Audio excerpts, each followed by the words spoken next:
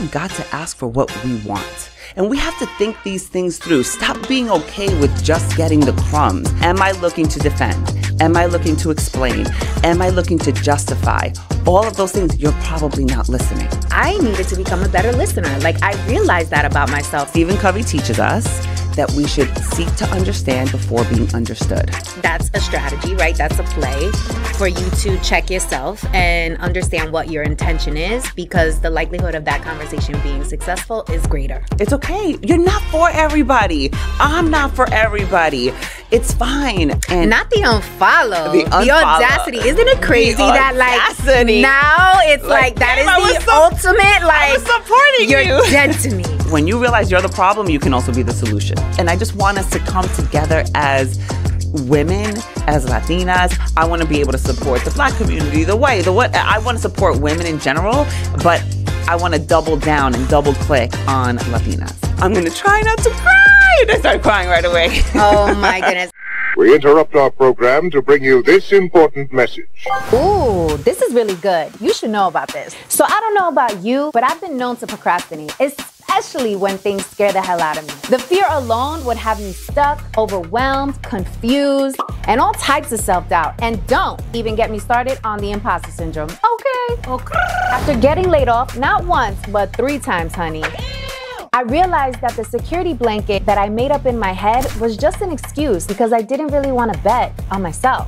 The corporate benefits that had me in that headlock, girl, they went out the window once my job decided that they no longer needed me. Turns out that I'll save a whole nickel if I cut your salary completely. The truth is, the only security blanket guarantee is the one that you create for yourself. In other words, until you start a business, you will always be at the mercy of a company's headcount, and you will never have complete control over your time, which means you'll be renting out your thought leadership and helping build someone else's dream instead of your own.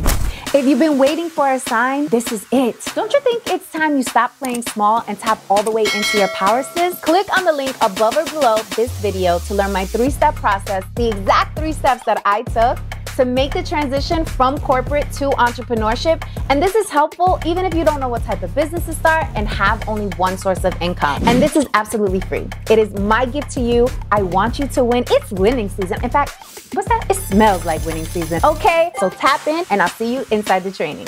Let's go!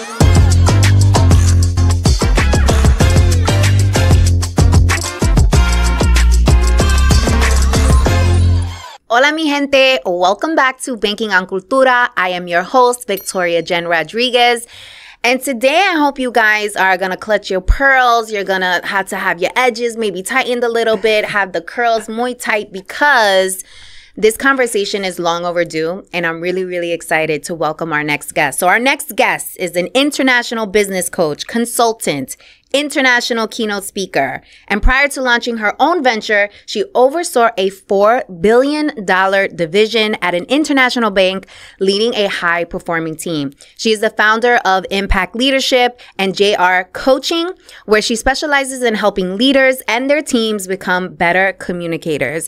Welcome to the show, Ms. Jessica Rivera. I am so excited to be here. Thank you so much. I'm excited to have you yes. too, my fellow Boricua. Yes, Bori, Bori, definitely. and also New York native. Born and raised. Always love when I got my peoples in the house. Born and raised. You know, it's funny. I tried to move out of New York so many times when I was in corporate, and every time they said, nope, we're going to give you a promotion to stay here. We need you in New York. really? Where yeah. were you thinking of relocating to? Uh, well, one was California and the other one was Dallas only because that's where our corporate office was. Okay, yeah, got it. Yeah, Dallas. I mean, I was always afraid is... to live in a red state. I'm not gonna lie. that makes sense. That makes sense. And everything is big in Dallas. Everything is very big right? in Dallas. That's yeah. for sure. So we like to kick off each show with some bonchinches. So give it to us. Give us some tea. Give us some What's goodness. Bonchinche? You know, you you asked me like, what do people talk talk about something that people don't know about? And I'm like, I'd be putting all my business in the streets. I put all my business in the streets. Um, I think if something people don't know about me is probably that I was a horrible communicator. I do talk about this, but I was terrible. I wouldn't Victoria, I wouldn't even give a toast at a family function. Like I would not talk at all. Like I was so afraid of speaking in public, like deathly afraid. I remember when I had to give a toast. I, I gave a toast at my sister's wedding, and we're in the limo, and my brother-in-law says, "You know, you're gonna have to give a toast, right?" I said, "Oh, absolutely not." And she said, "I told him you're not gonna do it." And I said, "I'm not doing it." He's like, "Yes, you are. You have to for your sister." And I'm like, "Oh my god!" So I get up there and I'm like, "I'm gonna try not to cry." And I start crying right away. Oh my goodness. I would so never. I would never think that of you because you're such a great speaker. Thank you, thank you. It's it's. I've worked on it for many years. Yes, you have. Mm-hmm. I would have never thought that you were a bad communicator or embarrassed to like uh, speak in front of groups. First of all, you said it right. I was a terrible communicator. Like, not only Mm. was I afraid of public speaking, I wasn't a great communicator because I was the type of person who would shut down. Like, when I was frustrated, I would completely shut down or I would blow up. Right. So I, I always wanted to be like, so I'm the second girl in our in our family, second child, and my sister was very by the book. She's so smart, she's so poised, and I was like the fun one, right? I'm like, you don't don't worry about me. I'm not picky. I'm easy, and so I would let things brush off.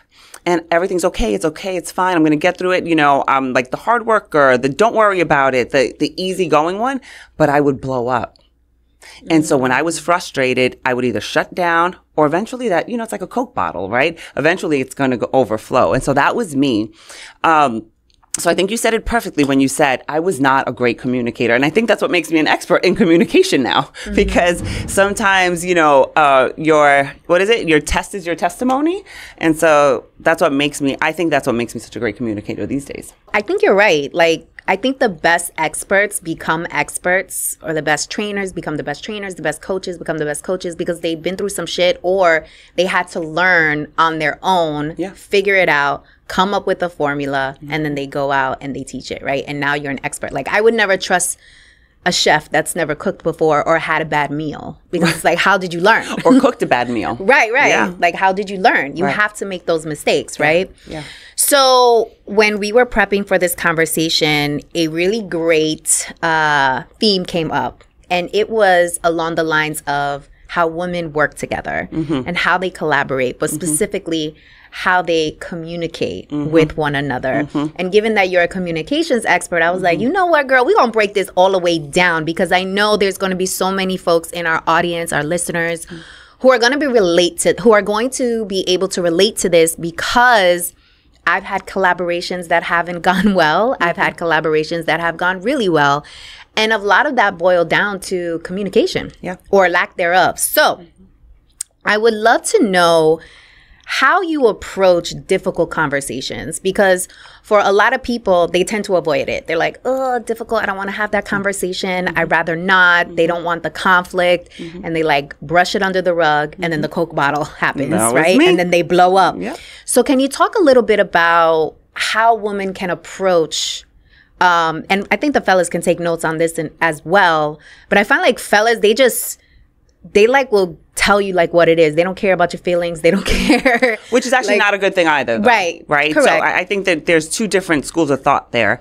And, you know, it's funny because I've worked with, I work with CIOs, C suite, executive, and they still have a problem. I think everybody has a problem having a difficult conversation because who the heck wants to do that? Everybody, we want to be accepted. We want to connect, right? I don't think it's easy. But I say if it's not addressed, you just make it more difficult, right? It, the conversation, that thing does not go away. And so I would say, you know, I have I have a framework that I like to use and go by, and I actually spoke about it. You know, I speak about it on on my Instagram page all of the time. Which the the framework is called data, and so I like for us to use our interactions with people as data points, right? Remove the emotion. It's like, oh, they said this about me, and we get all offended, and our little feelings get hurt. And but when we remove it, we can look at it more objectively, and I think that's a great place to start. So the first D stands for discover. Let's figure out what we're actually feeling inside. Why are we triggered? Is it our ego? Is it because of a past relationship, a past situation? So I think that's the first place to start. Is really sit back and understand what's going on for you because our body will tell us right? It's like something starts happening in within our body. So that's the first uh, step is d data uh, is uh, discover.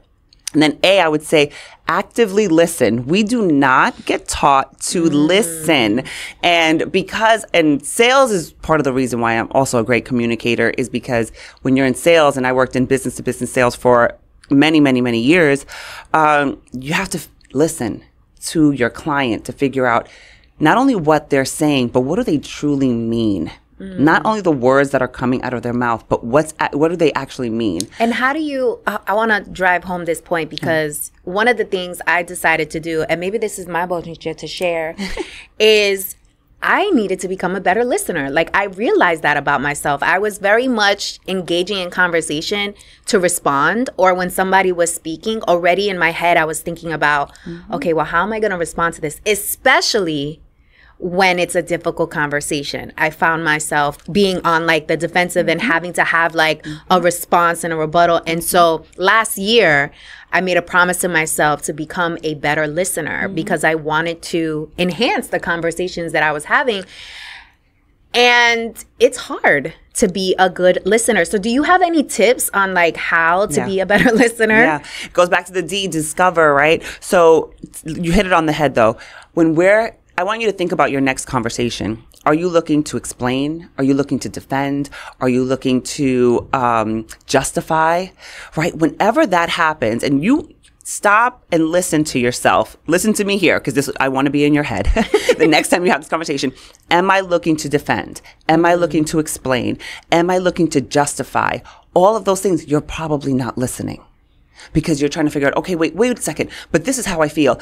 And Stephen Covey teaches us that we should seek to understand before being understood.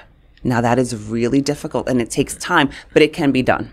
It can be done. Mm-hmm. And in the very beginning, when I would have these conversations and I would go into it like, okay, I'm ready. I'm ready to listen. This is going to be good. And it would go left in the middle. I would literally stop the conversation and say, hang on one second. This was not my intention. My intention is to make sure we come to an understanding. My intention is to, and this I'm thinking about when I was in corporate and like with a, with a team member. Like my intention is to see you win. And so I want us to make sure that that's where we're at right now because either I was in the middle of defending or I fell back into my old ways and the person, like the conversation just wasn't going the way I wanted. I would literally stop in the middle and say, hang on one second. What did you hear me say? Because mm. many times we hear we don't hear what the person is saying. We're back thinking oh that it triggered something for us right? So we don't even hear what the person's saying. So and i also repeat back many times what i heard because i want to make sure i heard the right thing. So it's like okay this is what you said but let me tell you what i heard. I do that all the time back then and i do it now with my coaching clients all the time. Mm, interesting, interesting. And I think you also said something that I'm going to put into practice is asking the other person, what did you hear? When It's so important. What did you hear? Because it's really easy to assume that they get it, right? And they're able to digest your point without any, you know, bias or anything like that. But what I've learned is A, delivery is everything, right? delivery is everything Um, but also B, like people are not the best listeners as well. And so a great practice when you're having a conversation, especially a difficult conversation, is saying, Hey, let's pause right here. What did you hear me say? Mm-hmm. Just so you know that they are internalizing exactly what you meant to say versus maybe being on the defense and hearing, making up their own idea of what was said, even though you said something completely different. Yeah. Yeah. So let me, uh, I'm going to get back to the, the framework, but then you also have me thinking about how to start and initiate a difficult conversation because I want to go there too. Because the framework is more like you're in it already, right? So you want to discover how you're feeling, where's this, what's triggering, what's coming up for you. You want to, um, Actively listen. you want to make sure you actively listen. Then T is you want to targeted questions. You want to make sure you're asking targeted questions. Asking questions will make your conversation so much better. And that's another thing we don't get taught. We don't get taught to ask questions. We get taught to defend. We get taught to explain. We get, I want you to understand where I'm coming from. But no, let's start asking targeted questions to open up the conversation. Then that's where we can articulate from a place of understanding all your data points, from a place of less emotion. Now we can articulate our emotions. We can articulate how we're feeling. We can articulate our point from a place of really understanding where both sides are coming from. Okay. So T stands for Targeted questions. targeted questions. Interesting. Okay, let's go through the framework and then we're going to wrap it back to how to approach these conversations. So yes. T is targeted questions Yeah. and A is for what? A is for articulate. Articulate. Yeah, that's when you can truly articulate yourself um, and your value and and whatever it is you're trying to say, even if it's even if it's just you're trying to make a point, right? Um, so I think A comes, which is articulating whatever it is you're trying to say. Then you can truly say it from a place of less emotion. Right, because sometimes we get super emotional for no. Think back about one time when you were emotional about something, and then now you think about it doesn't really matter as much, mm-hmm. right? So we're just triggered or reeling about something. So I think if we could just remember to just discover what's going on with us, right? What's coming up for us, then we make sure we're actively listening. Then we make sure we are asking targeted questions. Then we can articulate ourselves. Mm, interesting. And I like that the A, the last A, stands for articulate yourself because you've already gone through the whole framework. So all those emotions, all those feelings, all those assumptions, any bias has been eliminated Correct. going through the framework. So when you get to articulation, it comes from a place of, I would say, more clarity. More clarity, Yeah. yes, more understanding of Yes. yourself and where you want, how you want to deliver that, right? It's less mm. about the other person. It's more about, okay, what am I trying to say? How am I trying to make them feel? What do I want the outcome to be? That's when you can truly articulate yourself. Do you have examples of when this has like gone wrong?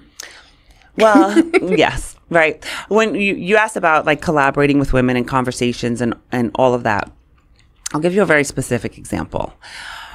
And and again, these conversations are not easy, right? So I'm collaborating. It was um, three teams, you could say, three teams in this conversation, and uh, we're talking about money. So money is always you know another difficult conversation, and so we're talking about we uh, we had done an event that was profitable, and my team had felt that we had put in most of the work. And so I was like, okay, this is going to be interesting. Let's see how the other teams feel they should get. How should this pot get split? Because originally we walked into it with, with uh, you know, 33, 33, 33. Everybody was going to get even split. So we get into the conversation. I said, okay, this is how much we made. And I ask uh, the first team, how much would you have charged for what you did? Right? And that team said, oh, no, no, no. Um, it doesn't, to be honest, we didn't put in a lot of work. There's no way we're going to take any of the profit. So I was like, okay, I like you girls. Like, we could work together in the I future. like that. We can work together in the future. That made sense. That's what I would have done, right? That's what I would have done. So I, I, I was, I respected it. The next person said, well, um, whatever you think is fair. So I said, okay, I want you to think about this. And so all of us are on the phone. There's like six or seven women on the phone. I said, I want you to think about this because what if I told you you get nothing? How would you feel then? What if I told you you get 10%? How would you feel then? And so I really wanted to be the example of we have got to ask for what we want. And we have to think these things through. Stop being okay with just getting the crumbs. We interrupt our program to bring you this important message.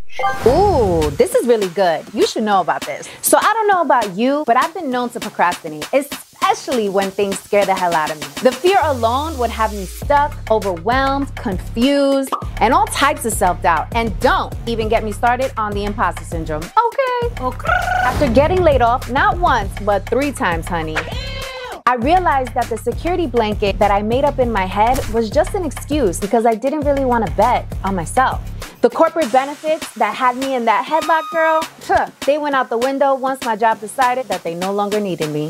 Turns out that I'll save a whole nickel if I cut your salary completely. The truth is, the only security blanket guarantee is the one that you create for yourself. In other words, until you start a business, you will always be at the mercy of a company's headcount, and you will never have complete control over your time, which means you'll be renting out your thought leadership and helping build someone else's dream instead of your own.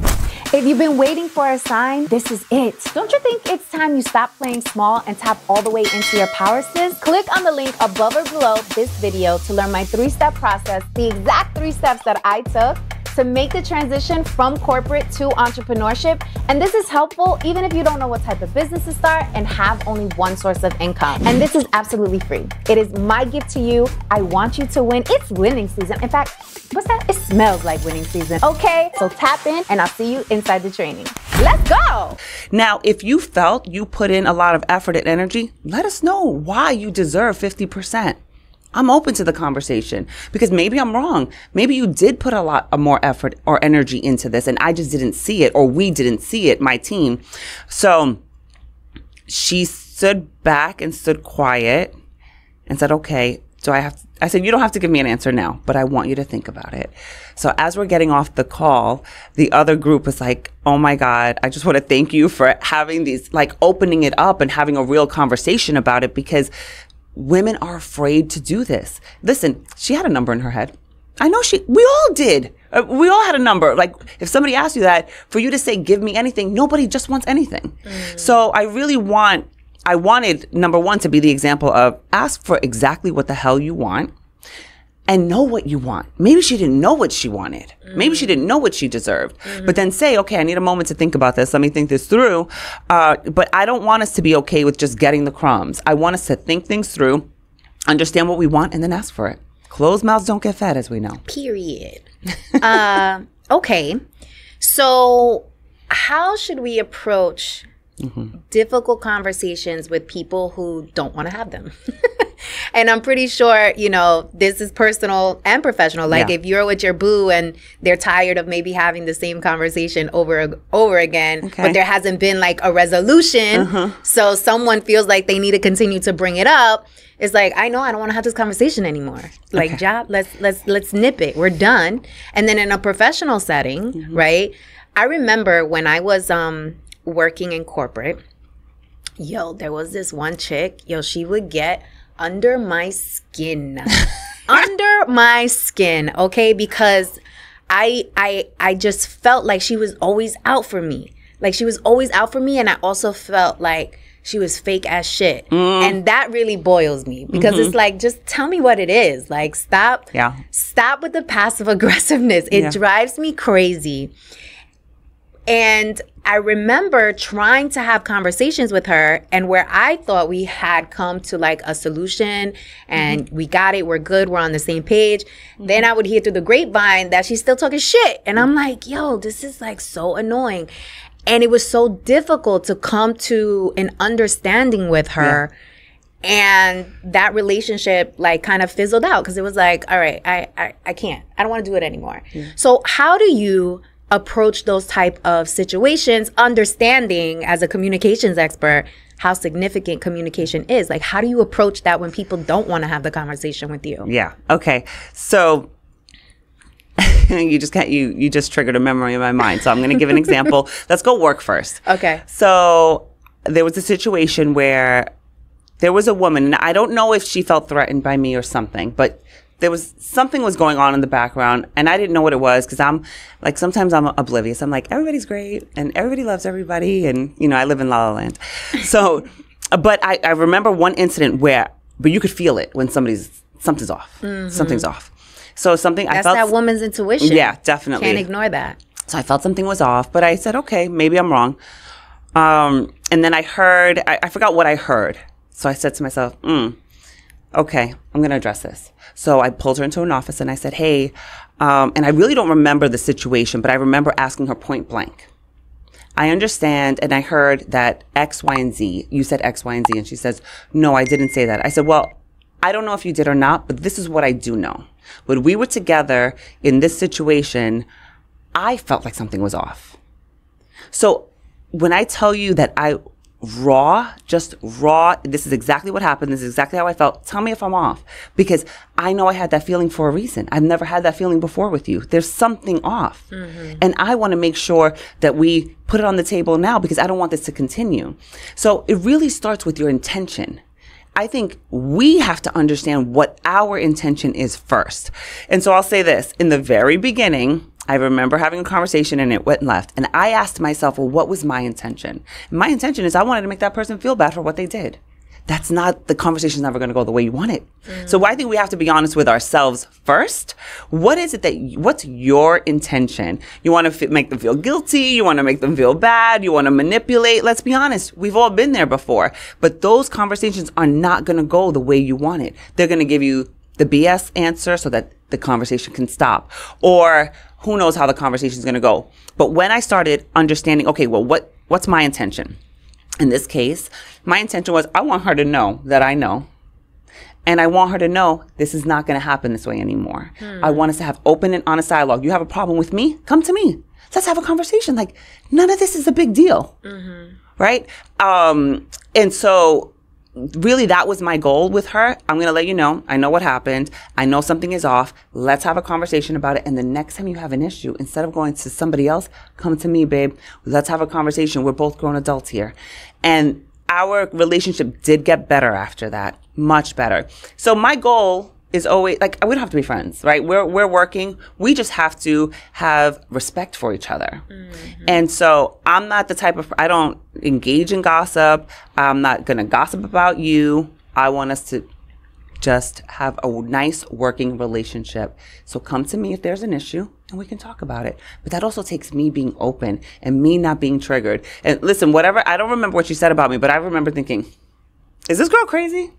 right? But I mean, that was like a hot second, but you know, before I may have been triggered, like, why would you say that about me? Why this? Why that? And it's like, who cares and who knows? Let's just work together. Hmm. Okay, so it sounds like that's a strategy, right? That's a play for you to check yourself and understand what your intention is because the likelihood of that conversation being successful is greater. Yeah. Okay.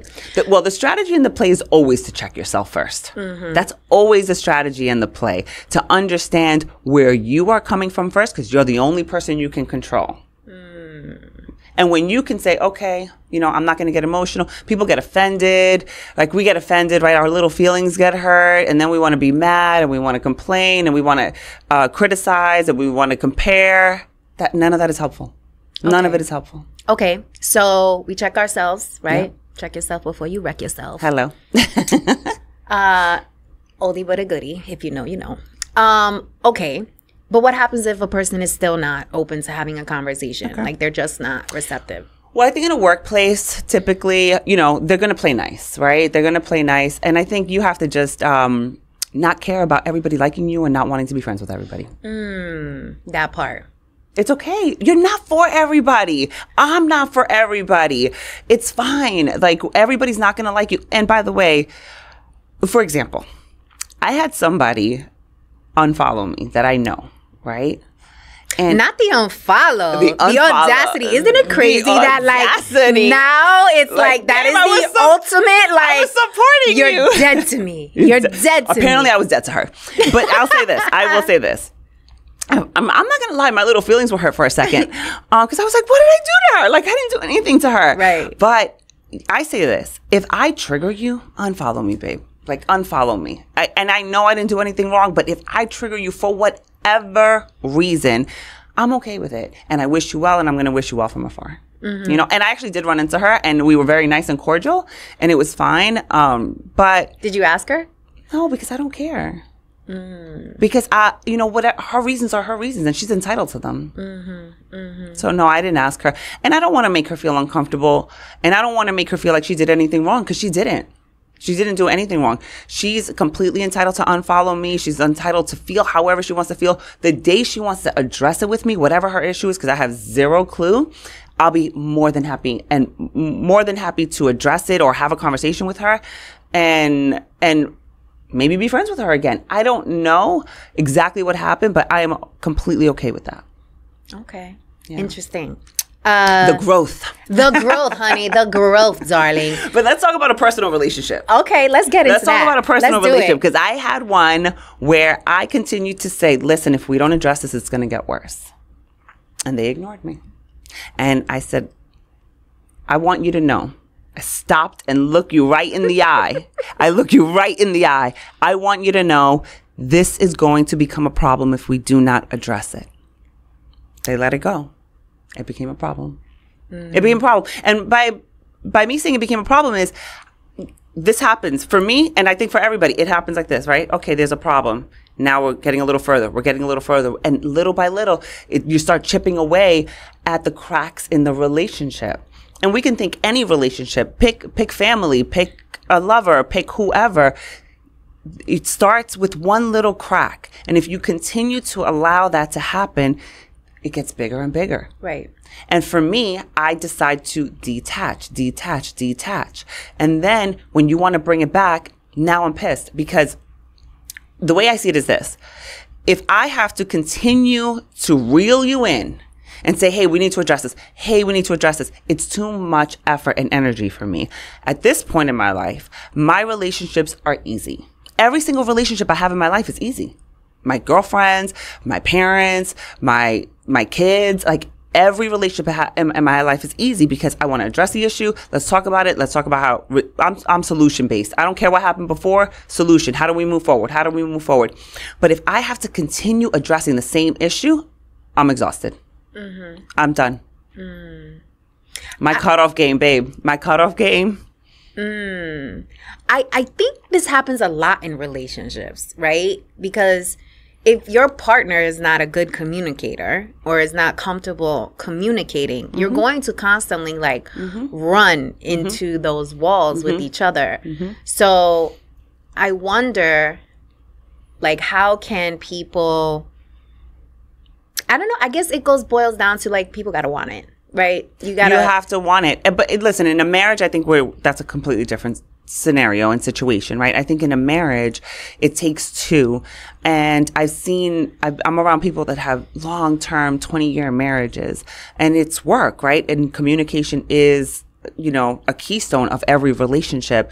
And so one person, yes, you both have to want it, but I think one person can fix it in my what I've seen because when you start changing you and when you start giving someone else what you're looking for. So you're looking for more love give the person more love. You're looking for more appreciation give the person more appreciation. Naturally naturally people start coming around. That relationship does start to change. And I've seen it actually even in, in myself um in my relationship even with my kids.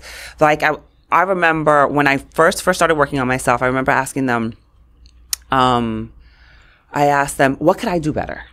And they were so used to me telling them what to do, they automatically started saying, well, we could do this better, we could do this better. I said, no, no, no, no, no. I'm asking what I could do better. And they were like, oh, um, well, you, had- at that point, I had a, um, I had, I had already started like working out and stuff, and they, they swear that me working out made me calmer, which it did. I was less crazy.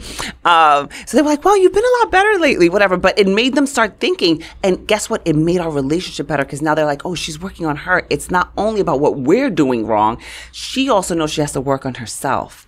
Um, so it's like little things like that. I do feel one person can help move that relationship forward, but it does. It it takes a lot of work and effort and energy on your part because you, when you realize you're the problem, you can also be the solution.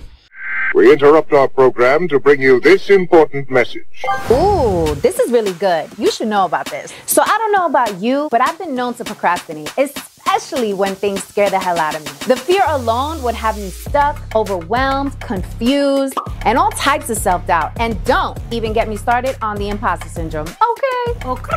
After getting laid off, not once, but three times, honey. I realized that the security blanket that I made up in my head was just an excuse because I didn't really want to bet on myself. The corporate benefits that had me in that headlock, girl, huh, they went out the window once my job decided that they no longer needed me. It Turns out that I'll save a whole nickel if I cut your salary completely. The truth is, the only security blanket guarantee is the one that you create for yourself. In other words, until you start a business, you will always be at the mercy of a company's headcount, and you will never have complete control over your time, which means you'll be renting out your thought leadership and helping build someone else's dream instead of your own.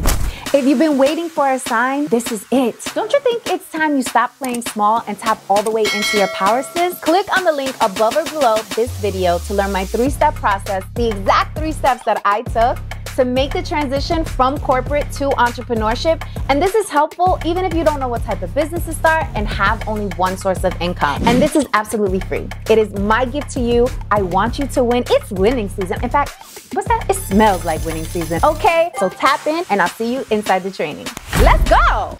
Wow, that's like a bar right there. When you realize you are the problem, you can also be the solution. Yes, girl. Woo, I like that. Okay, and I also like what you said because I think this is a great takeaway for people is if you are sensing the tension, the friction, be the change you want to see That's it. right? Because if you shift your behavior and you start showing up differently, or even when you ask your kids, hey, mm-hmm, what do you mm-hmm. think I can do better? Mm-hmm. Like, you're already signaling like, hey, I respect you. I respect your opinion. I want to do better for us, for you, for this relationship, for this project, whatever it is. Yeah. I think that level of vulnerability goes a really long way. Yeah. I mean, when you talk about vulnerability, that's another thing I was terrible at. that's another thing I was terrible at. I hated showing a vulnerable side. Um, But you also grew up in sales and worked with uh male dominated industry. male dominated industry. So I can see how you would almost feel, and I'm assuming right now, but like you need to position yourself as this authority, uh, take me seriously, like I'm nobody to play with kind of vibe. Mm-hmm. And so the vulnerability part was like, eh, let's put that to the side. Yeah, I think sales just enhanced that part of me because I think I was always like that. Yeah. I, I think I was. I think I think a lot of that has to do with like me having a kid at 19 and me feeling like I needed to prove to myself and to everybody else that I could do it because that wasn't normal in my family um, to have a kid so young and out of wedlock. Um, so I think that had to do with it. And then when I went into sales in a industry, uh, whatever Brooklyn and Queens gave me as far as like uh, being aggressive, that definitely it it actually worked in my favor. But yes, definitely. Yeah. Shout out to Brooklyn and Queens. Shout out that nobody. I was like nobody wants to see my Brooklyn side. No, but the fact that you had a baby at 19 years old. yes, girl. And then you had another son, At right? 27. At 27. And guys, if you are just listening, make sure you check out the YouTube so you can see how gorgeous and fabulous Jessica is. Thank you. And do you mind if we share how old you are? Well, I'm. You know. Yeah, no, of course. I Okay. don't care. I'm Okay. 48 years old. I'm about to be 49 this year, girl. And We're- fine. and fine. And and the reason why I love bringing this up whenever we're in conversation because I'm like in awe because so many women and men feel like it's too late to start mm-hmm. something new. It's mm-hmm. too late to mm-hmm. reinvent themselves. It's too late to leave their job and you know double down on their own business. It's too late to grow as an individual and they just get stuck. And I love that part of your story where you was like F that. yeah. Like I'm gonna do me. You know, so I remember Judge Judy. Like I, don't, I don't know. I don't know how old Judge I was. Judy. But her saying that she didn't become that she didn't get on TV until she was in her fifties. And I remember her saying, and I don't remember how old I was, maybe in my 30s, like she has a whole new career after 50, after she spent so many years in uh, family court as a judge. And I remember thinking back then, like, oh, okay, that means that I could always like have another career, right? And I was happy. I was happy in corporate for many, many, many years. I loved climbing the corporate ladder. I, I loved hitting like a new goal. Um, but once I hit like the one I wanted for so long and I was in it for a couple of years, I was like, oh, I don't know if this is for me. I don't know if I want that next, that next position. I felt like I had more to give and more to serve and more to do. And, and the fact that, you know, um, you know, I grew up in the, in the command and control era of leadership. Uh, that did not resonate well with me. And I definitely was, you know, did not want to become that leader, which I'm sure I was at one point when I first became a leader, but then through self discovery and growing and becoming a better communicator and wanting my team to grow and my team to be happy, but also hold them accountable, like all of those things, I think that really helped me understand, oh wait, I wish I could teach this to everybody. I wish I can I know what it was to be under a leader leadership where I was I loved my job, but I was so unhappy with my leader. Um, and it felt like crushing. It felt like soul crushing, right? And so I knew what that felt like, and I didn't want that for anybody else. Also, shout out to you because a lot of women are not comfortable sharing their age. They're mm. very hesitant mm-hmm. because we live in this culture of like ageism mm-hmm.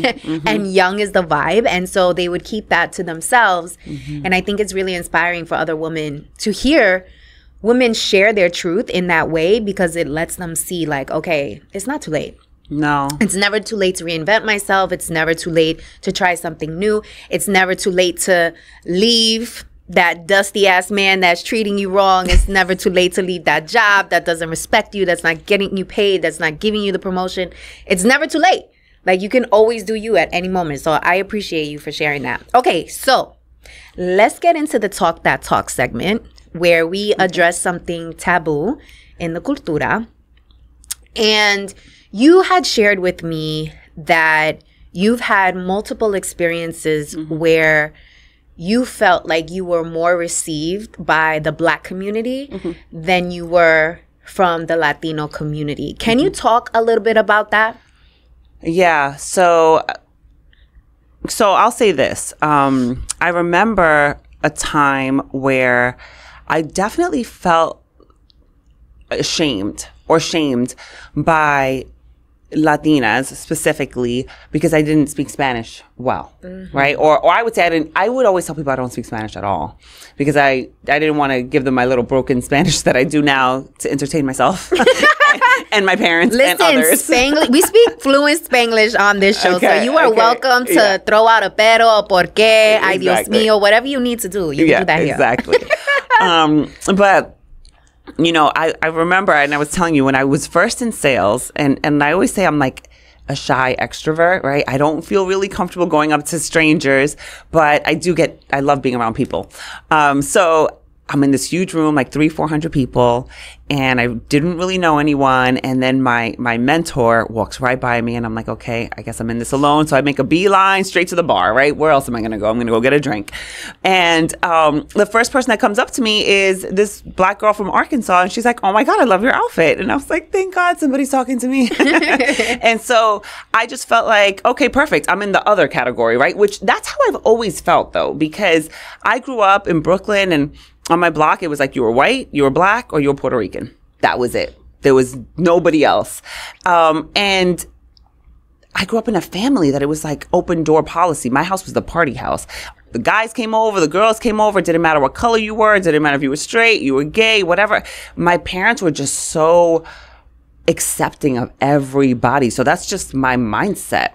And so I didn't understand when I then moved to Queens, uh, like the the shame around not speaking Spanish or not eating a certain way or whatever.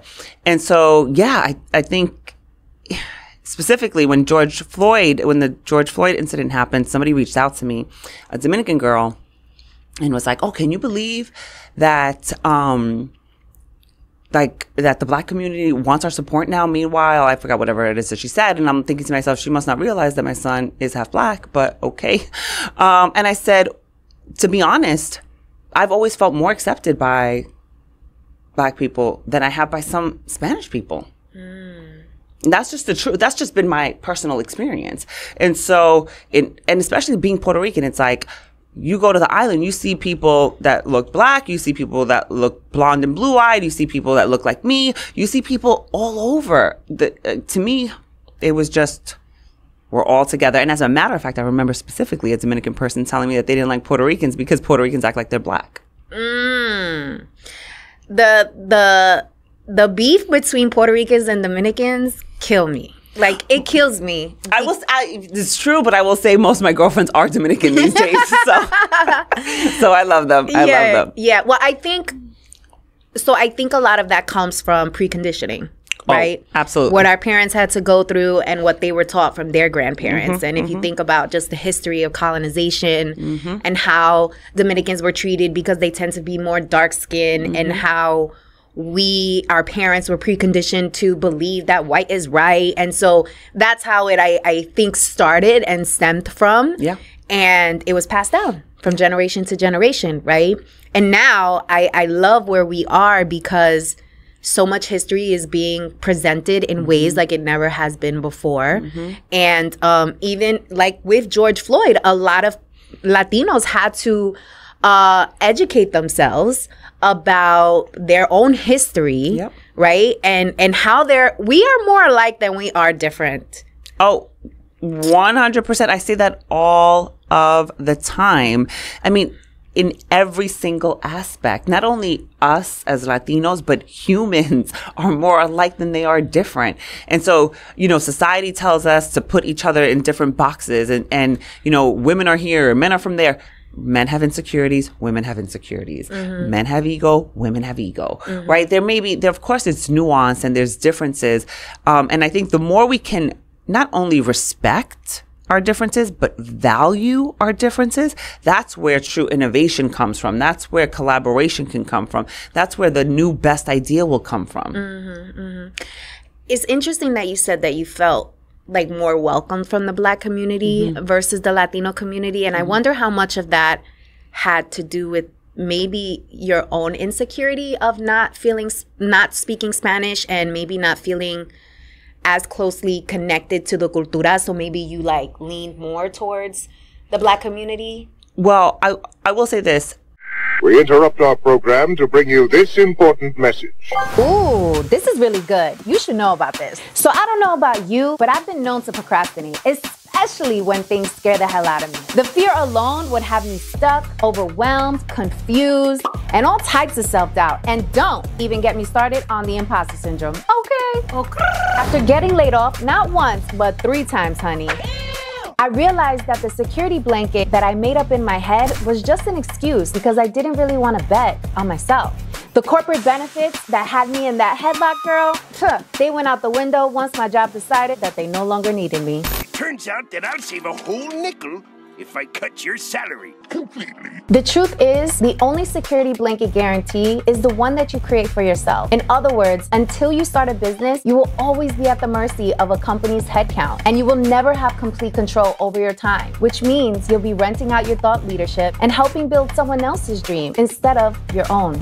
If you've been waiting for a sign, this is it. Don't you think it's time you stop playing small and tap all the way into your power, sis? Click on the link above or below this video to learn my three step process, the exact three steps that I took to make the transition from corporate to entrepreneurship. And this is helpful even if you don't know what type of business to start and have only one source of income. And this is absolutely free. It is my gift to you. I want you to win. It's winning season. In fact, what's that? It smells like winning season. Okay, so tap in and I'll see you inside the training.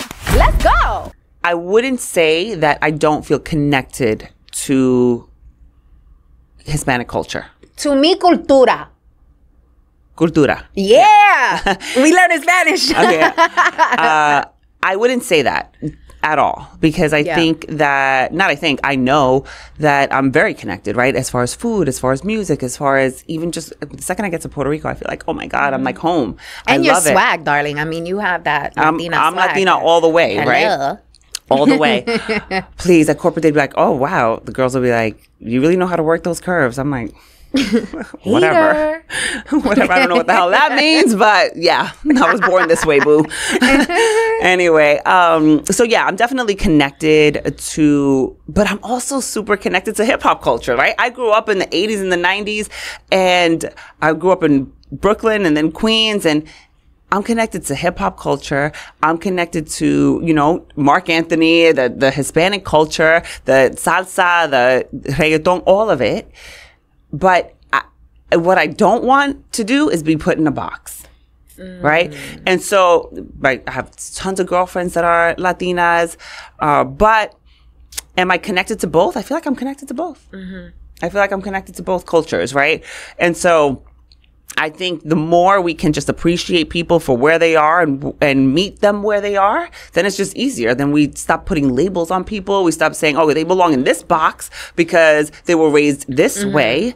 Uh, then we let them just be, just be. I think that comes very natural, especially if you grew up in New York and you grew up in the 80s and 90s. We usually were like in the same neighborhoods, right? We went Correct. to the same schools. At least for we me, hung yeah. out at the same same Yeah. for me as well. Like we hung out at the same schools. Um, so there's like kind of like this affinity there because we grew up together. So Mm-hmm. it's very easy for you to attach yourself to both cultures and also because New York is the birthplace of hip hop, argue with your mama. And so it's very easy, I think, for New Yorkers in particular. Yeah. And Puerto Ricans even more so, given our history Yeah. here in the city. So I could see how that could be the case. And uh, I too have a very well uh, rounded network. Like I have a lot of Latinas in my network, but I also have a lot of amazing black women in my community that show up, show out, support me. Latinas as well, but I do feel that it's interesting how Latinas interact with each other versus how black women interact with each other. It's very, very interesting. And it's not that, you know, Latinas are not supporting one another or black women are not supporting one another. It's just it's it's like an observation that I've I've found that like with Latinas, we are very our competitiveness comes again from the preconditioning and I think it really boils down to pleasing men. I really do believe that that you know this kind of like you know we were raised to cater to men. We were raised were. to you know be picked and chosen. We were raised to you know be this nurturing. We were raised to take care of all the men in our families like and I feel like that carries over in our personal and also our professional lives, right? Where I feel like black women, they come from a different type of struggle where they've had to fight so much and the way they were preconditioned is different from the way we've been preconditioned because they've had to deal with different types of injustices that we've had, even though we've experienced some of those same injustices just at different times and I think at different levels. I think there's levels to it. Agree.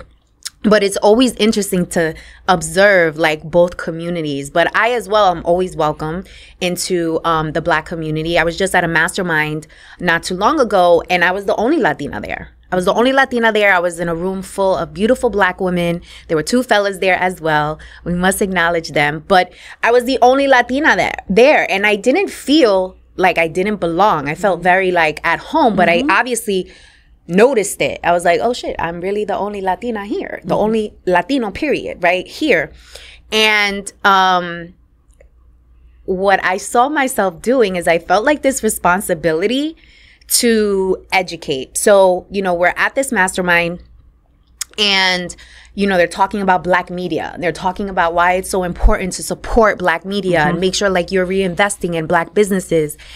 And i had to you know when it was my turn to speak i had to you know raise the fact that by only investing just in black businesses, just in black media, we're actually doing a disservice to both communities because we're more powerful if we collaborate versus if we continue to kind of feed this um this uh, this tension that exists between the two communities. And so I said, like, while you're doing that, also invest in Latino businesses and Latino media because we are more powerful together, but also there's plenty of us that support each other.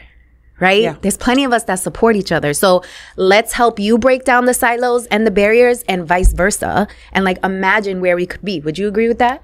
Oh, I would agree with that wholeheartedly. And I think if we if we stick back on the cultura, is that the part of the problem is that we don't support each other.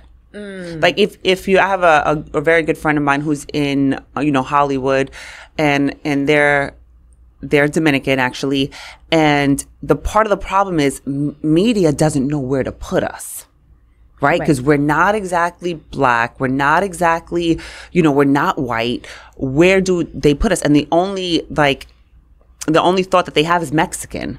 And so when you think about the way Dominicans look, the way Puerto Ricans look, the way every, all the other Hispanic communities look, they don't know where to put us. Yeah. Because people don't know, or they don't realize that we're out here, we have a dollar, we'll pay money, and we want things that represent us. Now, I think the tide is changing when you look at movies like Transformers, where you know, you know the star was Puerto Rican. When you look at things like you know different movies and even music, I think Bad Bunny has really helped move that a little bit more forward and push it mm-hmm. forward when he's like speaking Spanish on a Grammy stage, right? Things like that. So I think if we could start somewhere would be number one, support our own projects and our own people instead of saying, oh, well, that's a Mexican project. I'm Mexican. I'm going to, I'm going to support only that. That's a Dominican project. I'm not going to support that project or whatever. And so I think number one, we have to support ourselves, uh, uh, you know, our own culture, but then also, like you said, we're already supporting each other. Why don't we collaborate more? But there is an, und- we are underrepresented in media, in government, in C suites. We're underrepresented everywhere. So when you think about, I'll tell you, I'll tell you the story. So when, when Hillary and Barack were running against each other, so my son is half Puerto Rican, half black, and he was little, however old he was in 08. And um, I'm like, oh, who do you want to win? Who who do you want to win? We're looking at television, and he's like, oh, I want I want him to win. I said, why? He's like, because he looks like me. Representation matters Right. representation matters. And so, you know, if C suite level, if I wanted to get to the C suite and there's nobody up there that looks like me, it's like, who do I go? Who do I reach out to? Who, it, it feels, I'm like, I don't know if they're going to get me. I don't know. And then you see someone who's Hispanic in the C suite level, then you're like, oh, okay, let me see if I can reach out to him because it's, he'll probably be more open. He'll mm-hmm. probably be more, I mean, the truth is, on both sides, we're underrepresented, but Hispanics are definitely underrepresented, even more so than Black when you think about those three levels that I spoke about. Yeah, I would totally agree. And I think during George Floyd, a lot of conversations that were happening behind the scenes in Latino communities and organizations that I'm a part of was, you know, what about the Latino agenda? Like, there's so many mm-hmm. resources mm-hmm. being piled into the Black community, which is great, but what about the Latino agenda? And I think that we as a community, to your point, there's so much complexity that exists within the community that we need to address Yep. first, right? Like you feeling this shame from Dominican women, right? And I think Dominicans and Puerto Ricans, they, the women in particular, they just, they just, they, they just be going at it For no reason. for no reason. For no at all. reason, in my Again, I think it boils down to men, but that's just me. Um, but I think we have our own kind of um, areas for improvement in our community. Definitely. that needs to be addressed first before we go and support other communities because I think that once we are solid and I really respect the black community and how they've been able to do that, Same. right? How they've been able to like mobilize I love that. and organize. There's a lot of best practices that we can pull from that, right? And, I- and I was going to say, you know what I love about them too? It's like when you're black, you're black, right? So even though you might be Jamaican, you might be American, you may be something else, but they will rally with you where I feel like we, we really like put ourselves in a box. It's like, mm-hmm. oh yes, but you're this and you're that. And I'll say, you know, listen, I want to just be clear. I love my Dominican girls. Like I, all my good friends are Dominican. So I don't want them to kill me after you're gonna have all the. Dominican ladies coming at you in the hating on me. comments. I love them. I love them. I love them. Um, and actually, they're the ones who helped me get my Spanish a little bit better. Not that it's any great, that it, not that it's great, but they have helped me. Um, but but I love that about the Black community that it's like, oh. My son is half black, half Puerto Rican. He goes to something, he, he's going to get pulled right in, right? Mm-hmm. Um, and I love that about them. Whereas we're like, oh, you're Colombian you go that way. Oh, you're mm-hmm. Puerto Rican, you go that way. Oh, you're this, you mm-hmm. go that way. I, I hate that about us. And I just want us to come together as women, as Latinas. I want to be able to support the black community, the white, the what. I want to support women in general, but I want to double down and double click on Latinas. Yeah, I love that. And you're doing that by uh, being the CEO of Dream Lab, and you guys have a huge event coming up. Yes. So tell the people about your event that's coming up. Yes, it's so exciting. So it is the fifth and final Dream Lab Self-Made Mujer Conference, where we're talking all about living your wildest dreams. And to your point earlier, we want to remind women that, and people, but women specifically, that it is not too late. Being 35, being 40, being 45, like you, it is not too late. It is only the beginning. And I don't know about you, Victoria, but me, like I told you, I'm 48, about to be 49. I had an amazing year last year in 2023, and I feel like I am just scratching the surface. Mm. I love that. And where can people find more information about the self self mujer conference? Self-made. Self made. Okay, the self Self-Made made mujer. Mujer. I love it. Conference. Where can they find more information? When is the event happening? So the event is happening March 23rd uh, in Englewood, New Jersey, and they can find. Feel free to DM me at Coach Jessica Rivera on Instagram or on our uh, Instagram at the dot Dreamlab.